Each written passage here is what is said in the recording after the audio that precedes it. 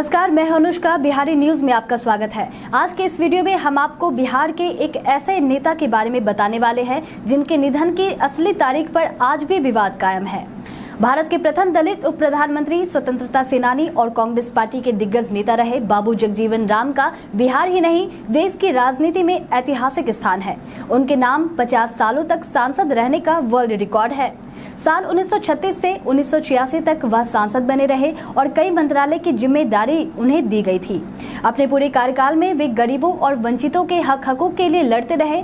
उन्होंने इस दुनिया को साल 1986 की जुलाई महीने में ही अलविदा कह दिया था। मगर रोचक तथ्य यह है कि उनकी मौत की सही तारीख पर आज भी रहस्य बना हुआ है।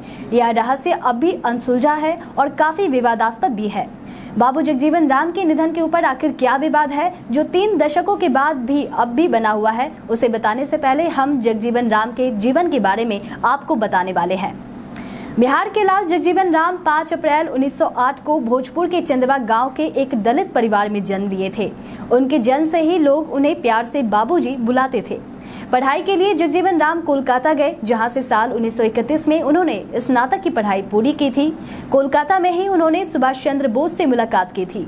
साल 1934 में जब पूरा बिहार भूकंप की तबाही से पीड़ित था, तब बाबूजी ने बिहार की मदद व राहत कार्य के लिए अपने कदम बढ़ाए थे और तभी उनकी मुलाकात महात्मा गांधी से हुई, जिसके बाद उनके नेतृत्व में भारतीय स्वतंत्रता आंदोलन में अभूतपूर्व भूमिका उन्होंने निभाई। इसी दौरान उनके राजनीतिक कौशल और दूरदर्शिता का पता चला था। हालाँकि वह 1936 में ही बिहार विधान परिषद के सदस्य बन गए थे और उसके अगले साल वह बिहार विधानसभा के लिए चुन भी लिए गए थे।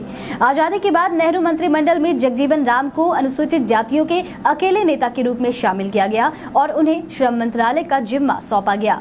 यहीं से बाबू जगजीवन राम का केंद्रीय मंत्री के रूप में सफ़र शुरू हुआ। वह तीस सालों तक देश के केंद्रीय मंत्री रहे। पहले नेहरू के मंत्रिमंडल में, फिर इंदिरा गांधी के कार्यकाल में और अंत में जनता सरकार में, उप प्रधानमंत्री के रूप में। केंद्र सरकार में अपने लंबे करियर के दौरान उन्होंने श्रम, कृषि, संचार, रेलवे और रक्षा जैसे अनेक चुनौतीपूर्ण मंत्रालयों का जिम्मा संभाला। उन्हें गरीबों का मसीहा इसलिए कहा जाता है क्योंकि कई महत्वपूर्ण श्रम संशोधन उन्होंने अपने कार्यकाल में किया था। बाबू जगजीवन राम के जीवन की यह संक्षिप्त जानकारी के बाद अब हम आपको बताते हैं की आखिर क्यों उनकी मौत की तारीखों पर आज भी विवाद कायम है। हर साल उनकी पुण्यतिथि छह जुलाई को मनाई जाती है, मगर दुनिया को अलविदा कहने के बाद भी उनकी मौत की तारीख का रहस्य साफ़ नहीं है। कहा जाता है कि बाबू जगजीवन राम का निधन 4 जुलाई को ही हो गया था। उनकी मौत की खबर को 4 जुलाई को ही ऑल इंडिया रेडियो ने प्रसारित कर दिया था। इधर 4 जुलाई को ही तत्कालीन प्रधानमंत्री राजीव गांधी एक बड़ी मीटिंग के लिए मॉरिशस जाने वाले थे।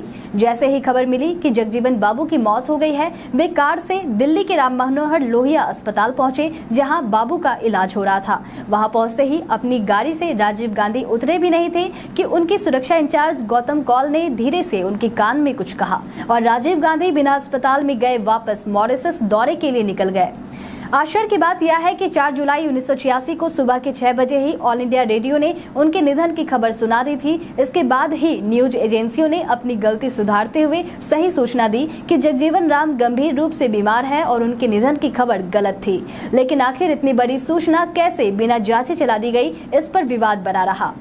इस मामले में काफ़ी विवाद हुआ कि राजीव गांधी अपनी मॉरिशस यात्रा को रोकना नहीं चाहते थे, जिस कारण उनके मौत की तारीख को दो दिन बाद 6 जुलाई का बताया गया। जगजीवन राम की पोती और कई नेता ने ये आरोप लगाया कि बाबूजी की मौत 4 जुलाई को ही हो गई थी। इसी वजह से राजीव गांधी जल्दीबाजी में उन्हें देखने एयरपोर्ट से लौटे थे। लेकिन हम सबने बाबूजी के शरीर का दर्शन 6 जुलाई को किया। तब उनके चेहरे पर वैसी सूजन थी, जो मौत के काफ़ी घंटे बीतने के बाद दिखती है। हालाँकि बाबू की पोती के मुताबिक उनकी मौत की घटना को छिपाया गया था। तो यह थी बाबू जगजीवन राम की मौत से जुड़ी विवादास्पद कहानी, जो अब तक साफ़ नहीं है। हालाँकि इस हाई प्रोफ़ाइल मामले के बाद सरकार ने नियम बना दिया कि किसी वीवीआईपी के निधन की सूचना कड़ी जाँच के बाद ही चलाई जाएगी, और यह नियम अब भी लागू है। आज के इस वीडियो में इतना ही। तब तक के लिए मुझे दीजिए इजाज़त। नमस्कार।